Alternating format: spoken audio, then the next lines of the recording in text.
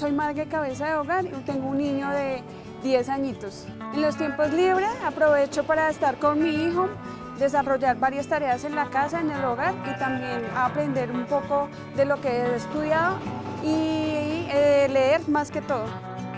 Eh, como mujer he podido crecer en, en varios ámbitos de mi vida, he podido desarrollarme tanto como crecimiento como espiritual eh, me he fortalecido, he tenido varios eh, logros en mi vida, como poder ser madre cabeza de hogar y al mismo tiempo poder defenderme en varios ámbitos de mi vida social.